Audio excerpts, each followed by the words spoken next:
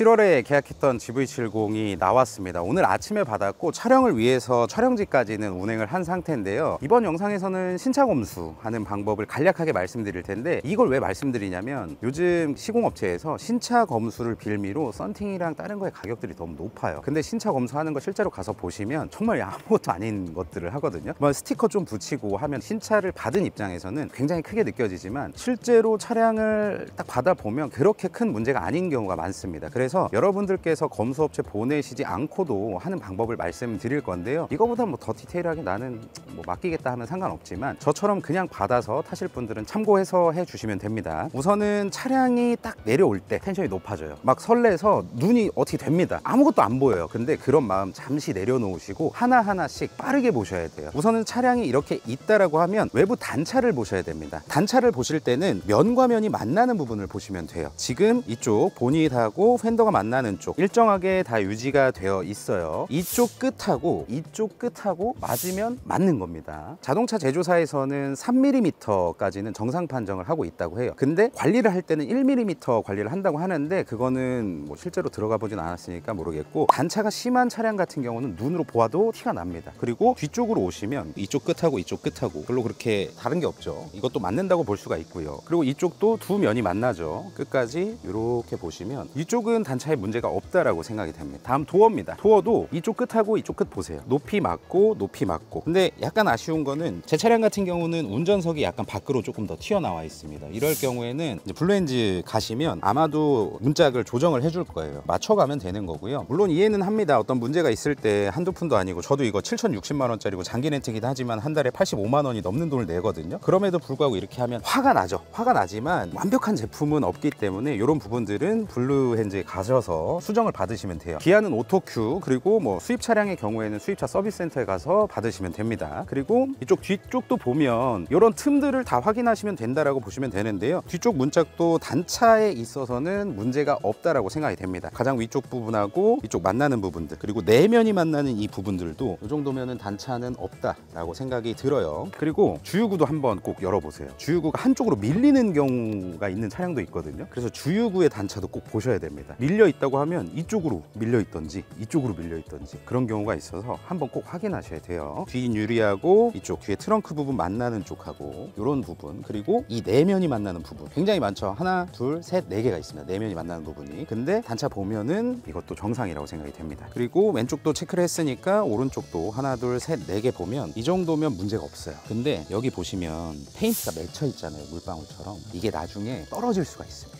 떨어지면 녹이 슬 수가 있어요. 그래서 이렇게 물방울이 맺혀 있지 않은지도 꼭 보셔야 됩니다. 다음으로는 트렁크가 잘 열리는지 확인하셔야 돼요. 트렁크 잘 열리고요. 차종마다 다르지만 트렁크 위쪽에 버튼 두 개가 있거든요. 이거는 닫는 버튼이고 이거는 닫으면서 차량의 도어를 잠그는 기능까지 하는 버튼인데 이런 것들도 한 번씩 눌러 보면서 기능이 제대로 작동을 하는지 한번 보셔야 되고요. 이렇게 트렁크를 전면에서 바라봤을 때 양쪽에 내가 선택한 옵션이나 색상들 그리고 소재들이 정확하게 대칭을 이루는지 잘 조립 이 됐는지 보셔야 됩니다. 예전에 소렌토 한 대가 이쪽이 조립이 안 돼서 온 적이 있어가지고 예, 영상으로 담지는 못했는데 이런 사례도 있었어요. 그렇기 때문에 꼭 확인하셔라 라고 말씀을 드린 거고요. 기본으로 지급되는 품목들 있잖아요. 그런 것들도 봉투에 써져 있거든요. 그런 품목들이 잘 들어 있는지 확인을 꼭 해보셔야 됩니다. 제네시스 같은 경우는 옵션 선택에 따라서 카트리지가 들어가 있고 뭐 삼각대라든지 이런 거 다 들어가 있는데 이런 것들이 잘 들어 있는지 확인을 한번 또 해보셔야 되고요. 그리고 이쪽 홀딩을 하는 기능을 하는 이런 레버들도 당겨 보시면서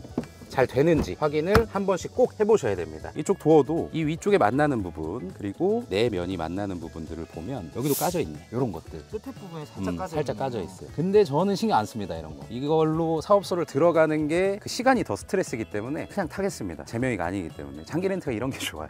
그리고 앞쪽으로 와서 또 앞문이 단차 잘 맞는지. 요즘 국산 차들은 단차적으로는 딱히 문제될 게 없는 것 같아요. 저는 그렇게 생각을 합니다. 개인적으로는. 그리고 이쪽 정면에서 바라봤을 때 왼쪽 앞도 단차, 이쪽 보닛 단차 이런 것들도 저는 잘 맞는다고 생각합니다. GV70 같은 경우는 보닛이 이렇게 앞으로 좀 들려 있어요. 이건 단차가 안 맞는 게 아니라 디자인 설계가 원래 이렇게 돼 있는 거니까 신경 안 쓰셔도 돼요. 자, 그리고 타이어 보시면 여기 이렇게 스티커 붙어 있거든요. 휠하고 타이어하고 위치 맞추려고 붙어 있는 거예요. 그러니까 이거 떼셔도 되고 휠이 뜨거워지면 나중에 눌러 붙을 수가 있잖아요. 그래서 이제 제거를 해주시는 게 좋은데 귀찮으니까 나중에 제거를 하도록 하겠습니다. 그리고 이제 보닛을 이렇게 한번 열어보세요. 열어보시면 이런 몰딩들 잘 붙어 있는지도 한 번씩 꼭 보셔야 되고요. 방음판도 잘 보셔야 되고 그리고 이쪽 보닛 단차나 이제 조정이 필요한 경우가 있거든요. 예를 들어서 새 차를 받았는데 보닛 조정을 해야 돼서 우리 교체해주겠다. 이러면 차가 문제가 있는 겁니다. 그건 왜냐면 새 차인데 나중에 이건 장기 렌트지만 내 명의로 만약 샀다 그러면 나중에 팔 때 가격이 떨어지잖아요. 그런 것들도 어필을 하셔가지고 최대한 교체하지 않고 조정을 할 수 있을 때까지는 조정을 하시는 걸 저는 추천드려요. 신차로 나왔는데 나. 교체를 해버리면 그게 또 이력이 다 남아서 남지. 그래서 이제 이런 거 신경 안 쓰고 싶어서 장기 렌트를 한 이유도 있죠. 그리고 도어를 열면 이렇게 볼트들이 있잖아요. 이런 것들도 풀어진 흔적이 없는지 잘 보셔야 돼요.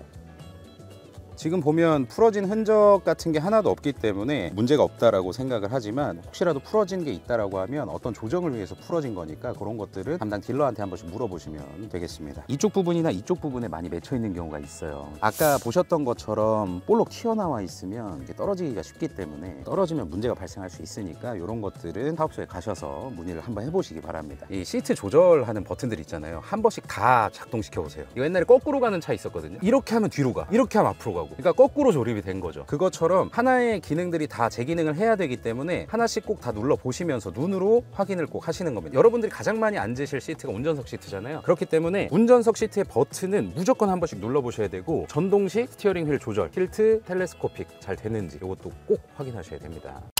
실내에 들어왔습니다. 우선 실내에 타시기 전에 저는 이제 잠깐 건너뛰었지만 가죽이 찢어지지 않았는지 꼭 보셔야 돼요. 그리고 가죽이 오염된 경우가 있어요. 신차라는 게 어찌됐든 사람이 마지막으로 검수를 하고 뭐 썬팅 업체나 뭐 이런 블랙박스 업체에서도 옷에 묻어있던 것들이 여기 묻는 경우가 있거든요. 압니다. 기분 나쁜 거 알아요. 근데 제품으로 지워질 수준의 오염이라면 지우시면 돼요. 그렇게 스트레스 많이 받지 마세요. 차가 뭐라고. 사람이 먼저지 차가 먼저가 아닙니다. 그리고 가장 중요한 세워놓은 상태에서 D, N, R, P 다 작동이 되는지 한번 확인해 보시고요. 제네시스 차량 같은 경우는 이런 컨트롤러, 수입차들도 컨트롤러가 있는 경우가 많죠. 프리미엄 브랜드 같은 경우는 이런 컨트롤러의 반응이라든지 이런 질감이라든지 헐거움 이런 것들도 한 번씩 체크를 하시길 바라고요. 다음으로는 송풍구 바람 잘 나오는지 하나씩 체크해 보셔야 됩니다. 열고 닫아 보면서 이렇게. 그리고 오해하실까봐 말씀드리는데 바람이 나오는 총 양은 동일하기 때문에 예를 들어서 두 개를 닫잖아요. 그럼 양쪽에서 바람이 더 세게 나와요. 그건 불량이 아닙니다. 다음으로는 공조 관련된 온도 조절 한 번씩 꼭 해보시고요. 그리고 이렇게 돌리면 양쪽 온도가 달라지잖아요. 이 기능이 적용된 차량들이 많기 때문에 고장난 게 아니라 이건 dual auto 에어컨이 지금 실행이 되고 있는 상태예요. 그러니까 고장났어 이렇게 하지 마시고 싱크 버튼을 살며시 눌러주시면 양쪽 온도 동일하게 맞춰집니다. 그리고 4륜을 선택하는 SUV 같은 경우 2륜의 경우 에는 이런 terrain 모드가 빠지는데요. 4륜을 선택하셨다라고 한다면 이 push 버튼이나 기타 작동시키는 버튼을 눌러보면서 terrain 모드가 잘 작동하는지도 확인을 하셔야 됩니다. 그리고 통풍 시트 같은 거 잘 작동하는지도 꼭 확인하세요. 요새 그랜저의 통풍 시트가 작동이 안 되는 것 같다라는 complain이 많아서 지금 몇몇 차주분들이 좀 불편하게 타고 계신 걸로 아는데 이런 통풍 시트를 작동을 해보시고 좌판에서도 바람이 잘 나오는지 그리고 등받이에서도 잘 나오는지 손을 대보거나 앉아봄으로써 이제 느껴보시는 걸 전 추천드려요. 나중에 이런 것들은 가서 수리를 하려면 또 시트 하는 데로 보내기도 해야 되고 그렇기 때문에 검수하실 때 보시는 걸 추천을 드립니다. 자, 이 외에도 자동차 버튼이 엄청 많잖아요. 근데 시간은 부족하겠지만 주행하시지 않은 상태 지금 이렇게 정차해 있는 상태에서 기어 knob만 건들지 않는다고 한다면 다 눌러봐도 상관없거든요. 그러니까 하나씩 꼭 눌러보세요. 이거 눌러서 잘못되면 어떡하지? 이런 생각 하지 마시고 하나씩 다 눌러보시는 겁니다. 또 하나가 공조에서 이 버튼하고 이 버튼 이렇게 눌렀을 때 앞쪽에서 바람 잘 나오는지 왜냐면 안 나오면 성에 제거가 안 되니까.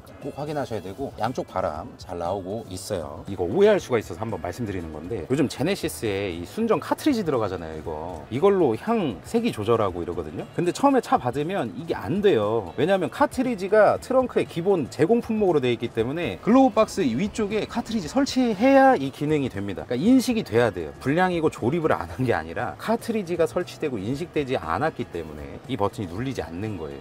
그리고 시트 관련된 건데 ergo motion 시트가 적용이 된 차량이거든요. ergo motion 시트도 잘 작동을 하는지 골반, 허리, 전신 이렇게 잘 작동하는지도 체크를 한번 하셔야 됩니다. 그리고 썬루프 적용된 차량들 썬루프 잘 작동하는지 무조건 보셔야 돼요. 살짝 뒤로 밀면 커버만 열리는 기능 유리까지 한번 열어보시고요. 썬루프 열 때 이 앞에 튀어나오거든요. 올라와요 위로. 이런 것들도 잘 작동되는지 한 번씩 꼭 보시기 바래요. 그리고 유리 닫아보고 앞뒤로 열고 닫는 것 뿐만 아니라 이 버튼을 한번 위로 눌러서 tilt가 잘 되는지도 보셔야 됩니다 요게 틸트라고 불러요. 그리고 다시 눌러서 닫는 것까지 한번 체크를 하시면 썬루프는 체크가 끝입니다. 커버까지 다 닫아 주시고요. 그리고 메모리 시트도 잘 기억을 하는지 잘 돌아오는지 각 차량마다 조작하는 방식은 거의 비슷해요. 세트 버튼을 누르고 해당 번호를 누르던가 해당 번호를 길게 누르던가 딱 두 가지 방법이라고 보시면 되거든요. 근데 이 차량 같은 경우는 세트 버튼을 누르고 1번에 저장을 했습니다. 그리고 시트 이동시켜 보고 번호 눌러서 잘 이동하는지도 한번 보셔야 되고요. 사이드미러 각도 조절도 잘 되는지 한번 보셔야 됩니다. 지금 조수석 사이드미러 조절하는 기능이 설정이 되어 있고요. 좌우, 위, 아래. 그리고 현대기아 제네시스 같은 경우는 후진 연동 하향 tilt 기능이 있을 때 후진 넣었을 때 그렇게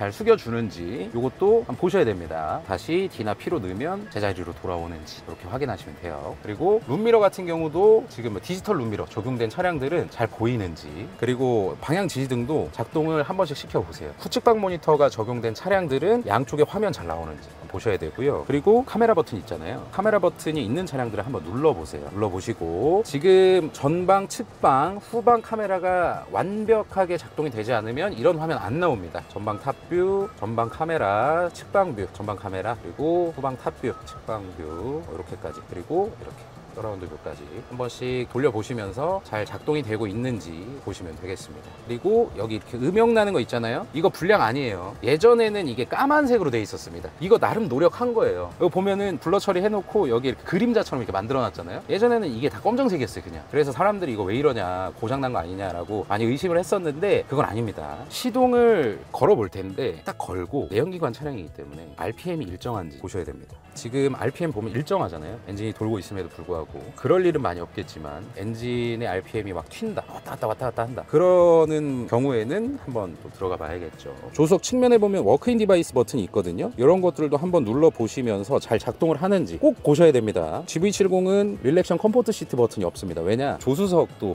메모리 시트 기능이 있기 때문에 하나씩 저장하면 되니까.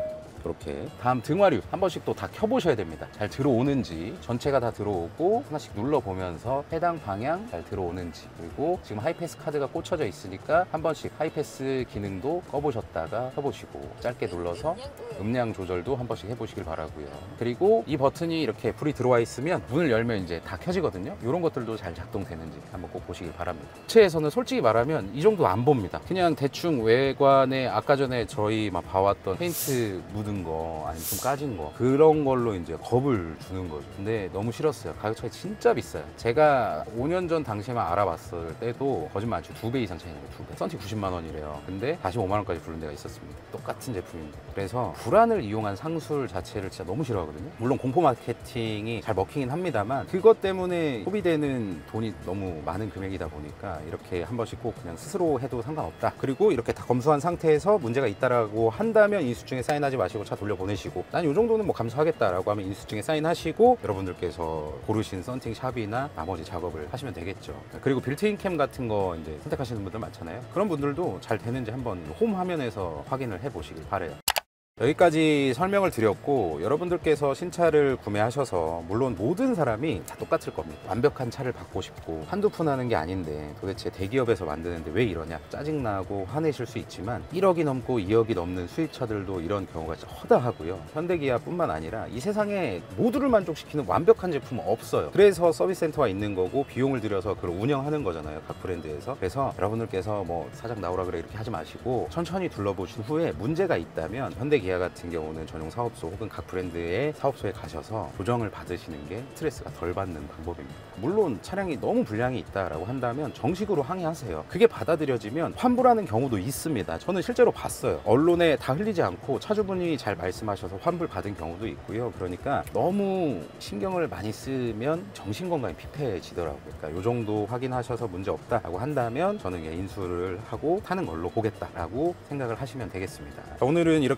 게 뭐 대단한 건 아니지만 차를 처음 사시는 분들이나 오랜만에 사시는 분들 이런 분들께 조금이라도 이건 뭐 실생활에 도움을 드리고자 설명을 드렸는데 어찌됐든 여러분들이 받으시는 차 완벽한 차였으면 좋겠고요. 시청해주셔서 감사드리고 구매하신 차량과 함께 행복한 추억 많이 만드시기 바랍니다. 감사합니다.